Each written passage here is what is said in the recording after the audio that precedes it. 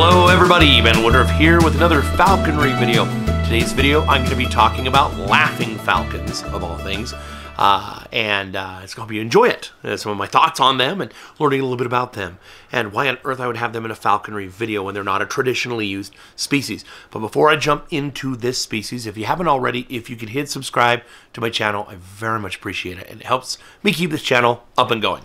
So falconry, first let's back up a little bit. I do that all the time. I'd like to kind of give a framework for what I'm talking about. Falconry, so far as we know, came about as a way for people around the world to get food in the days before grocery stores and uh, even before bows and arrows. It was a way to train a bird to catch food, and then once it's caught that food, maybe you get more. Maybe you go out several more times. They eat some of it, you and your family eat the rest. So that's where it came about. This um, principle especially in areas where falconry has a very long history of hundreds or even thousands of years, has led to very specific species being flown. There are some species that live right alongside those that nobody even thinks about flying because maybe maybe their size or their choice of prey or whatever uh, leads people led in the past people to not think about using them in falconry. For that matter, a lot of what we today call microfalconry, using very small birds such as kestrels, or a prime example, uh, Merlin falcons, even though they do have a history in falconry, a lot of these smaller birds were not used or were not used until more recent times, past few hundred years or even the past 50 years, because back in the old days, keeping a bird like that, training it to hunt, it's not bringing in enough food to make it worth the effort. But now we're in a very different world. We're, for the most part, in a digital age, and humans can take a look at falconry from very different perspectives, from uh, and and and why we do falconry. Most people in the world who practice falconry do not need to practice falconry in order to have food on the table. They can get it much easier other ways. So their motivations for practicing the sport are different. With that in mind, I want to talk about a species that I would kill to fly. I would do anything to work with this bird for falconry, for education, or even just to have the chance to observe them at length in the wild. It's a species I'm very passionate about, and that is the laughing falcon. Now, the laughing falcon gets its name because it makes a call that sounds quite a bit like laughter. Uh, sometimes it's just more of a vocal call, and sometimes it really does sound like they're up there mocking you. Being excessively vocal is not something most raptors do. Most raptors that are vocal do so in conjunction with defending a territory or during mating season, calling to a mate, something like that. Usually you don't, especially if you're not the biggest raptor around, you don't want to blah, just be making sounds all the time. This bird has no problem with that. They just at dawn, all throughout the day. They just blah, blah, blah, blah. They love to make a lot of sound. And they're very conspicuous. This is a New World bird. They live in Mexico, Central America, and the northern half of South America. And in their range, they are snake hunters, expert snake hunters. They will hunt other things, but they are snake hunters. But beyond that, they're not just, oh, I'm roaming the rainforest looking for a snake to kill. No, no, no. They're really smart they have figured out that humans, human habitation, does two things. So, uh, first of all, human habitation invites rodents, which invites snakes. And second of all, human habitation in tropical regions results in cutting down trees to build houses, to build giant temples. You know, think of the Maya, the Aztecs, the the Olmecs, some of these ancient cultures would build these big, huge structures, and they had big, open, clear cut plazas and fields with crops. All of these things make it conducive to having more rodents in a condensed area, which makes it easier to hunt, but also makes it easier to see them. If you're in the rainforest, pinpointing a snake, it's not that easy. But doing it where you're like, hey, I'm just sitting up on top of this giant step pyramid temple looking around, and uh, oh, look way far away. I can see on the other end of this open plaza, there's a snake, and I can go after it. It's pretty interesting. So over time, the laughing falcon has developed a relationship with humans. It likes to be near humans. It likes to be close to where, not that it enjoys humans themselves, but the, the way that humans alter the land and the way that those alterations impact other species invites just naturally laughing falcons to be near humans, both in the ancient world and in modern times. Now, in particular, We know from Mayan writings and Mayan scriptures, like the Popol Vuh, uh, the Mayan scriptures called the Popol Vuh, we know very specifically that in the ancient world, laughing falcons loved to hang out, especially by the ball courts where the sacred ball game was played. And we know that they would often hang out there and just be looking, and people making all that commotion were more likely to disrupt or disturb any snakes. So they were vocal and they were visible. And because of that, they figured very prominently in ancient Mesoamerican lore to the point where in ancient Mayan, the laughing falcon was called Voc, V O C, and Voc kind of served a similar role to uh, the gods of creation, to the the the, the lords of of good, if you will, uh, without going into too much detail, uh, as messengers. Voc was a messenger. Voc was a herald. Voc was a symbol, kind of like um, there was a golden eagle in ancient Greece that was at the side of Zeus, and it's like, okay, you're my number one, and you're kind of a symbol of my power, and you're also my messenger. You'll inflict my justice. Uh, same kind of thing that Voc, the laughing falcon in ancient Mesoamerican lore, figured very prominently. Which is one of the other reasons why I love this bird so much.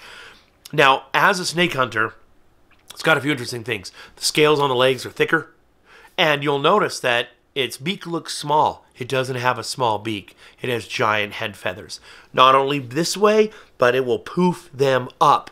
And this is a very good thing a lot of birds, when they do hunt snakes, will poof up in various ways to provide a more false target or bigger uh, to to do to get the attention of the bird. So if you have, like for example, all the old world snake eagles, many of them will have big poofy heads too, or even a crest on top. So they come down, they land, and they're, they're going at the snake, and they poof up, and the snake's like, oh, looking at the head of the bird, and then bam, they use their feet, which are being ignored by the snake. Laughing Falcon has a similar thing where it will poof out its head and make it look giant, and the and the and the snake's like, whoa, whoa, what is that? And then the uh, Laughing Falcon will use its feet.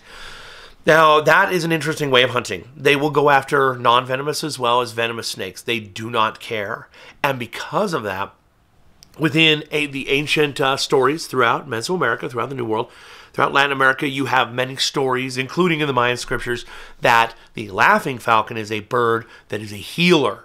That it can, it has has medicine or spiritual power that can be used to heal a venomous bite from any venomous creature, from a venomous snake to a scorpion to a spider. And so, associating with it, or ceremonial fans made from its feathers, could be used for a blessing on you. Um, and even the original story says that those two smudges uh, the, the two dark bands that go across his face that have to do with the story of how he originally got his magic and got his medicine. It's a long story, but it's it's a fascinating one. So there's a deep, deep, ancient history of this bird uh, having reverence. And it's kind of sad we don't hear more about it, which is part of why I'm making this video. You, if you watch my channel, you know I go on and on and on and on about the ancient Egyptian link to the lanner falcon. The lanner falcon is, of course, the, the model, the personification of the Egyptian god Horus, which, if you're a stickler for history, uh, the Greeks made it Horus. The Egyptians pronounced it Hor, H O R. You probably don't care, but there you go. So Hor or Horus was a lanner falcon. Everybody and their dog knows that.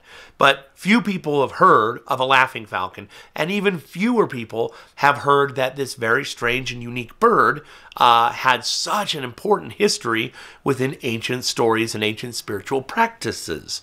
And to me, that just makes it absolutely fascinating. But the bird itself, the bird itself is a weirdo. Uh, um, it comes, it is in its own genus.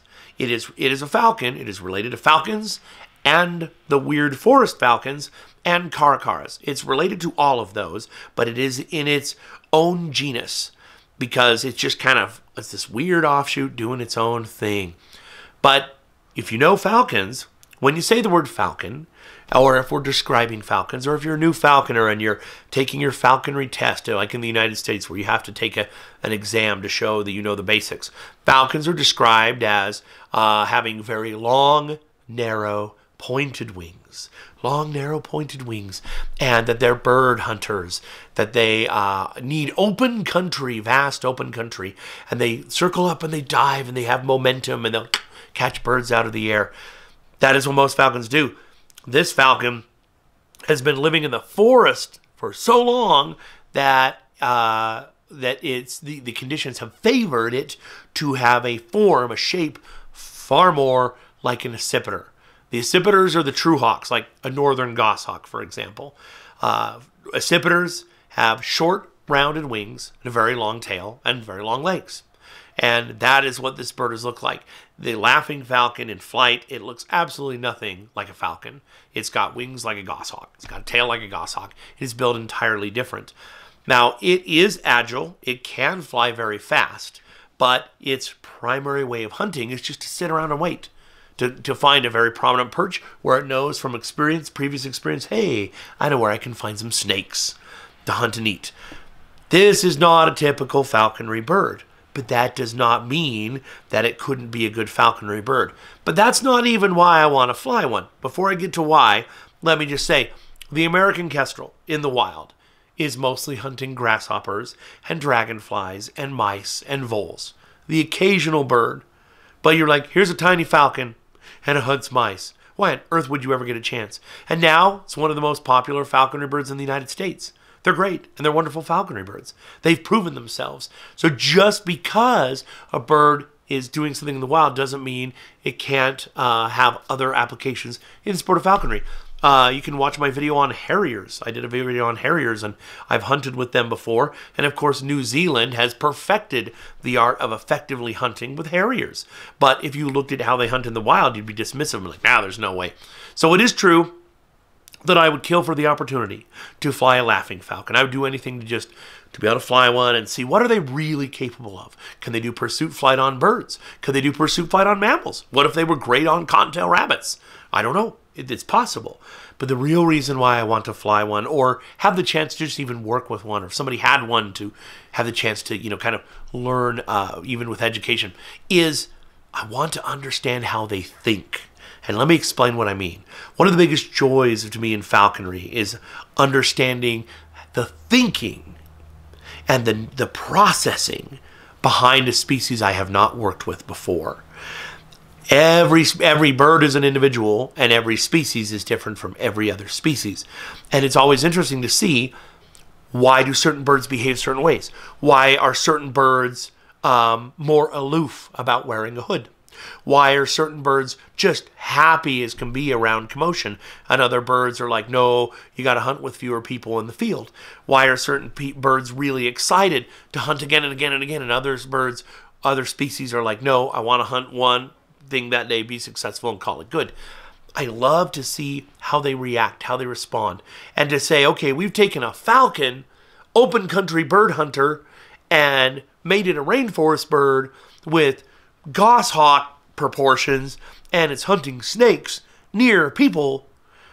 I, I don't think people understand. Like a lot of rainforest birds are very aloof, cautious. They try to be away from people.